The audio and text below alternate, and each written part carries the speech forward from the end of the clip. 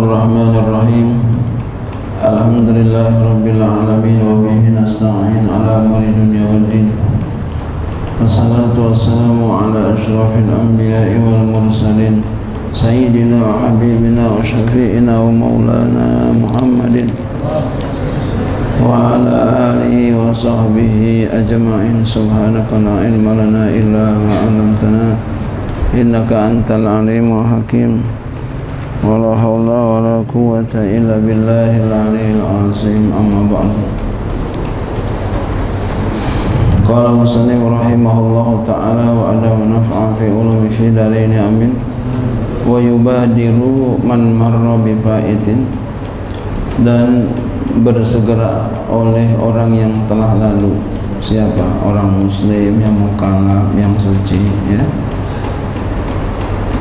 bifaitin dengan yang luput. Maksudnya salat kodoknya. Ya. yang mesti di kodoknya itu. Salat yang mesti di kodok. Luput salatnya dia nggak sembahyang. Ujuban hal keadaannya wajib.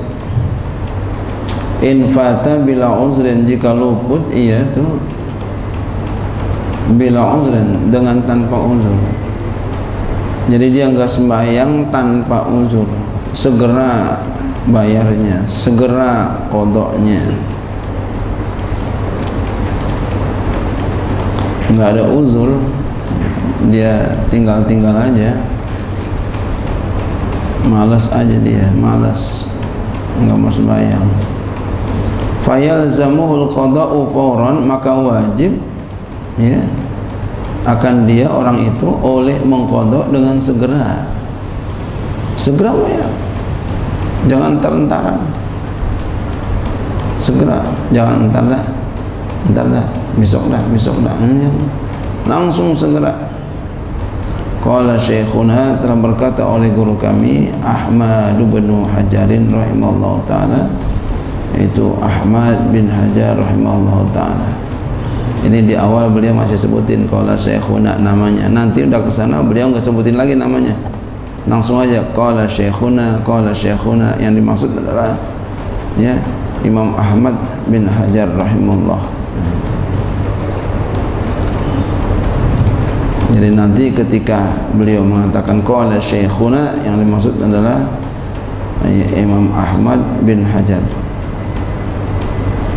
Al-Haytami والذي يظهر أنه يلزمه صرف جميع زمنه للقضاء ما عدا ما يحتاج لصرفه فيما لا بد له منه وأنه يحرم عليه تطوع انتهى kata gurunya begitu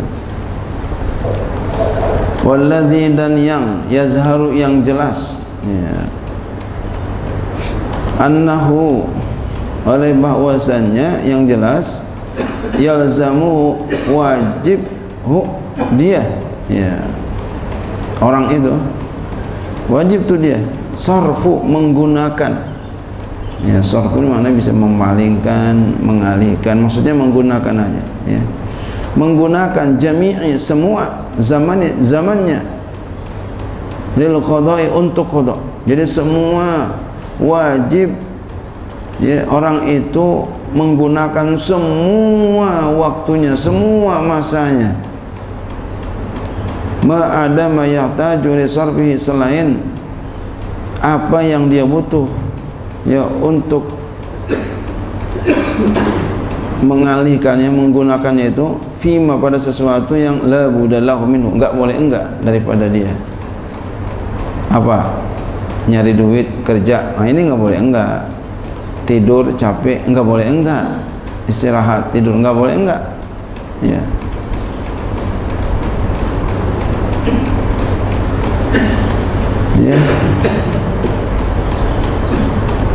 jadi wajib dialihkan itu semua. Wajib dia gunakan semua masanya untuk mengkodok sholatnya selain masa yang ya dia enggak boleh enggak. Di antaranya apa? Untuk cari makan cari uang cari buat makan. Maka itu enggak apa-apa. Ya. selain itu enggak boleh berarti apa? Jalan jangan jangan jalan-jalan dulu. Nggak boleh jalan-jalan. Happy happy dulu gitu. Shopping ya. shopping.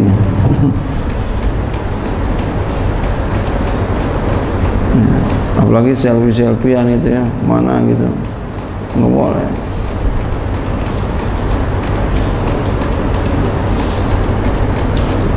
belanja ke mall. Ya jalan-jalan.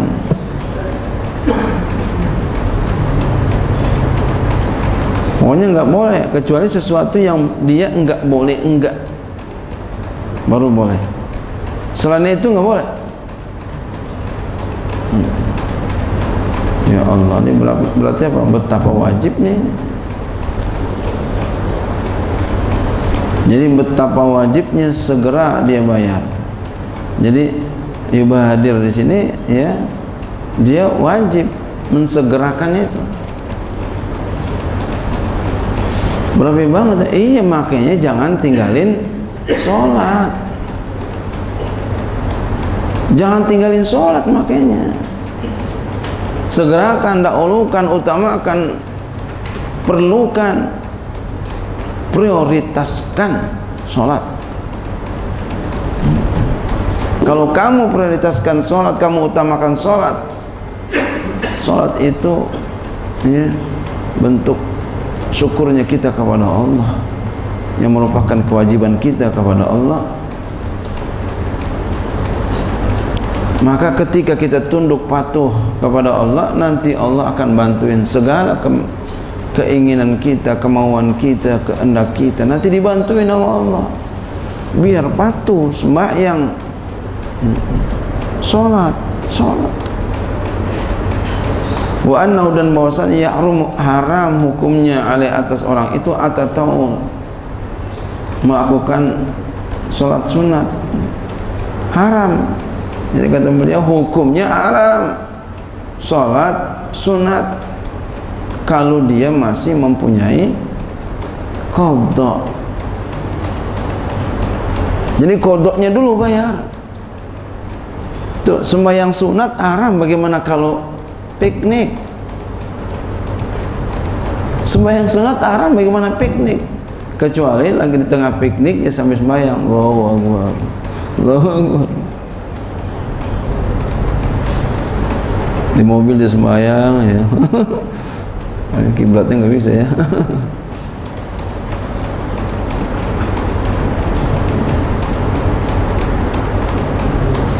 intah ini peringatan buat kita supaya jangan sampai kita tinggalkan sholat. Jangan sampai.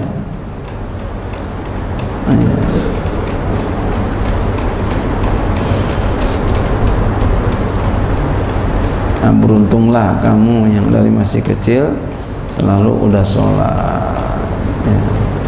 beruntung wa yubadiru bihi nadban. Nah kalau ini sunat. Kalau tadi wajib tuh. Dan dia segera ya, segera dia ya, dengannya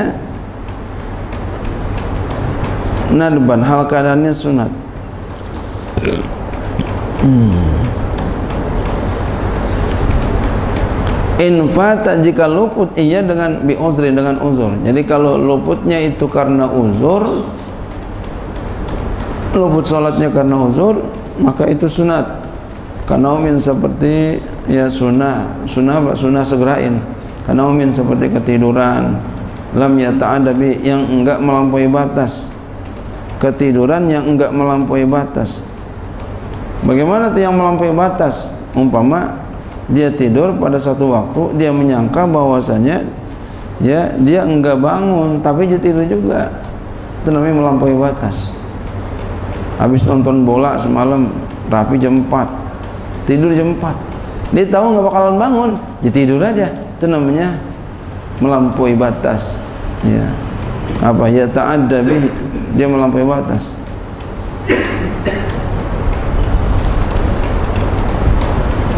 dia namanya melampaui batas kalau begitu ya. Udah tahu kagak bakalan bangun masih tidur aja. Wanisyanin kadzalika. Ya dan kelupaan seperti demikian itu seperti demikian itu maksudnya ya ya lam yata'adabi enggak melampaui batas sama dengan tadi ya. Jika luput dengan uzur seperti tidur tidur yang enggak melampaui batas. Lupa yang enggak melampaui batas. Kalau dia melampaui batas ah, berarti apa? Dia segera wajib segera. Lupanya melampaui batas wajib segera ya. Tidurnya melampaui batas wajib segera. Nggak boleh tantaran besok-besok nggak boleh wajib segera. Tadi sarfu jami'i ma ya. Yalzamuhu sarfu jami'i zamanihi ya. Lil qada'i ma ada ma yahtaju li sarfi fi ma la mudalla minhu. Hmm. wa annahu yahrumu alaihi nah itu. Udah tuh ya itu ya. Dalam mengkodok sholat wajib segera atau sunat ya. Wajib segera atau sunat. Hmm. jadi kalau dia meninggalkannya itu ya enggak ada uzur dia wajib segera. Kalau ada uzur ya boleh entar-entaran aja. Tapi ya, yang bagus adalah segera. Hmm. jadi sunat aja. Yang kalau ada uzur sunat. Tapi yang bagus adalah segera. Hmm.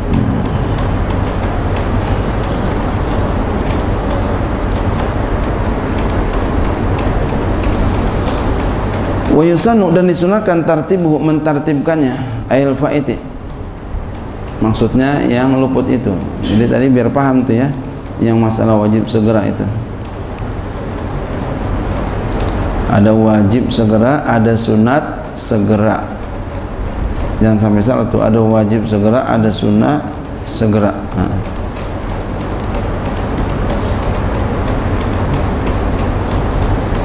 dan wajib dia mengalokasikan semua waktunya menggunakan semua waktunya untuk mengkodok. Ini yang wajib segera. Nah sekarang masalah mentartibkannya. Mana yang dulu kita kerjain? Apa zuhur dulu atau asar dulu? Wa yusanu dan disunahkan tartibu mentartibkannya. Ail faite yang luput itu fayaqdi subha qabla zuhri maka dia mengqadha akan salat subuh sebelum zuhur jadi subuh dulu baru zuhur zuhur dulu baru asar asar dulu baru maghrib. Maghrib dulu baru isya. Wah dan seterusnya begitu. Wa taqdimuhu ala hadiratin. Dan mendahulukan yang luput atas yang hadir. Mendahulukan yang luput atas yang hadir. Jadi dahuluin kodok dulu atas yang hadir itu yang enggak kodok. Jadi dahulukan yang kodok dulu. La yakhafu fauta'a ya. Yang dia tidak takut akan luputnya. Yang dia enggak takut akan luputnya.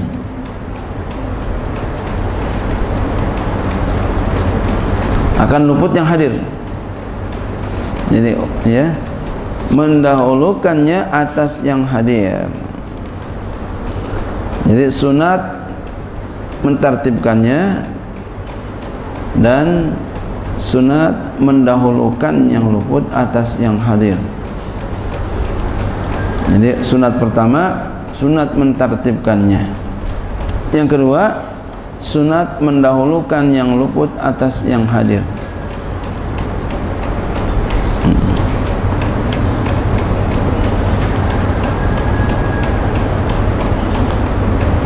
la yakhafu fauta. Ini yang dia tidak takut akan luputnya yang hadir. Jadi kalau takut luput yang hadir ya maka yang hadir dulu gitu ya.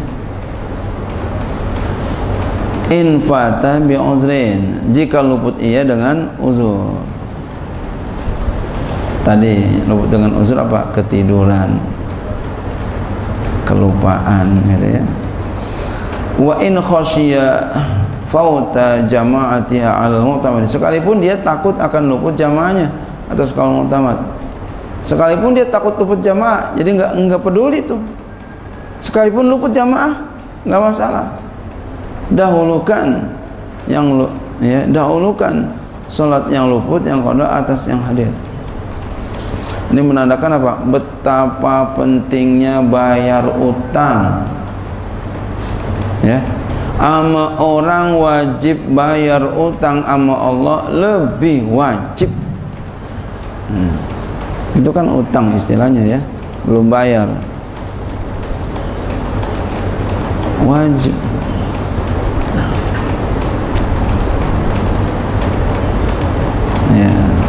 Jangan sampai enggak bayar kita kesel enggak kalau ada orang ngutang sama kita punya duit tapi enggak mau bayar? Kesel enggak kesel. Apalagi punya utang jalan-jalan kagak mau bayar. Jalan-jalan bawa oleh-oleh banyak banget utangnya banyak banget mau bayar. Kesel enggak kita kesel banget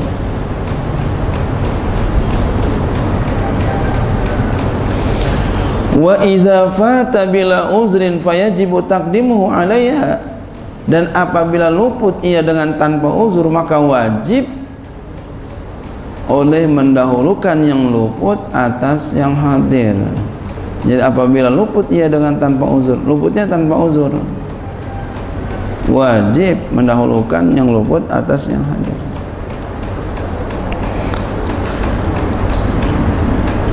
tadi yang uzur itu yang seperti tadi ya.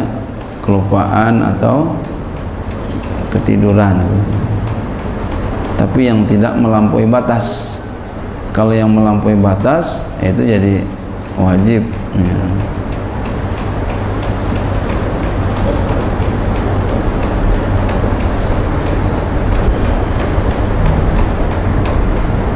Jadi apabila luput ya dengan tanpa uzur maka wajib mendahulukannya.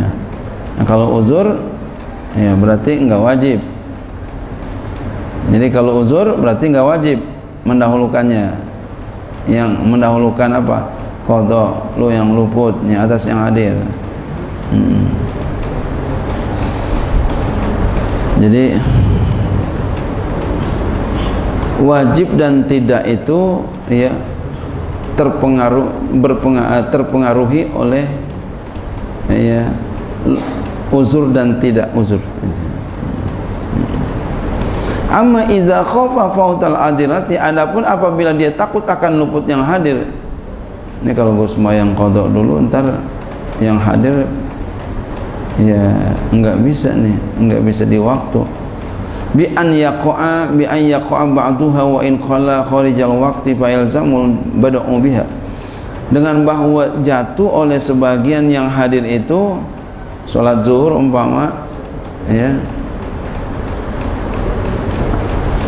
Sama ya sholat zuhur umpama ya. Dia punya kodok udah dikit lagi asar ya. jatuh sebagiannya umpama sholat dia mau kodok sholat umpama semalam kelupaan belum sembahyang isya yang ngaji dari maghrib sampai isya ngaji dari maghrib sampai isya pulang jam 11 lupa tidur-tidur aja. Habis zuhur baru ingat. Setengah tiga umpama ingat. Dia tiduran capek umpama dari mana-mana kelupaan. Sembahyang zuhurnya ketinggalan. Ya. Apabila takut dia akan luput yang hadir ini kalau dia sembahyang yang kotor dia bakal ya, yang hadir keluputan dengan bagaimana gambarannya? Jatuh oleh sebagian yang hadir itu. Ya, bi ayyaqa ba'daha dengan bahwa jatuh terjadi ya jatuh sebagian yang hadir itu. Sebagian doang. Berarti apa? Dua rakaat doang. Umpama zuhur jatuhnya dua rakaat doang. Di waktu hadir dua rakaatnya lagi ya, ya, di waktu yang berikutnya. Jadi dua rakaat di waktu dia dua rakaatnya di waktu zuhur umpama dua rakaatnya di waktu zuhur dua rakaatnya lagi di waktu asar. Wa in qalla sekalipun sedikit. Ya sedikit doang umpama salam doang umpama ya di luar waktunya. Kharijal waktu di luar waktu fayalzamul bad'u biha maka wajib oleh mendahulukan biha dengan yang hadir itu. Jadi kalau dia takut yang hadir bisa ketinggalan bisa luput maka wajib yang hadir. Eh, yang hadir dulu dia kerjain. Wa yajibu taqdimu ma fata bi ghairi uzrin. Ha ini lain lagi. Wajib oleh mendahulukan apa yang luput dengan tanpa uzur wajib mendahulukan sesuatu yang luput dengan tanpa uzur.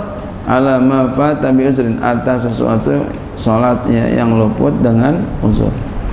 Wa in fuqidat tertibu sekalipun tidak didapati tertib sekalipun enggak didapati tertib kalau tertib tadi ya zuhur dulu baru asar asar dulu baru maghrib maghrib dulu baru isya itu namanya tertib kenapa? Li'anahu sunnatun. Ya. Karena tertib itu sunat wal bidaru segera itu wajibun hukumnya wajib. Jadi kalah tertib. Ya, sekalipun nggak tertib ya udah kerjain aja. Wa yandubu wa yandubu takhiru rawatib dan wa sunnat mentakhirkan rawatib ya salat sunat rawatib takhirin dulu anil fawaiti daripada yang luput bi uzrin dengan uzur. Ya. Jadi belakangan rawatibnya. Kerjain sunat ya, kerjaan yang kodok dulu. Wa dan wajib takhiruha oleh mentakhirkan yang ya wajib mentakhirkan yang hadir anil fawaiti daripada yang luput di ghairi uzrin dengan tanpa uzur.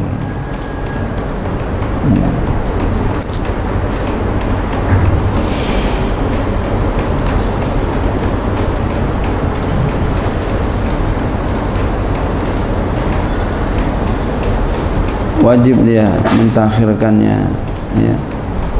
Yang